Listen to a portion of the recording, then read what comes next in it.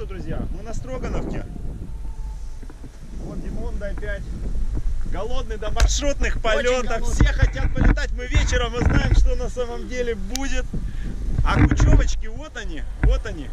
Вот еще компетиторы едут. Вот и все. Понакупались и четырехколесных колясочек. Вон. А.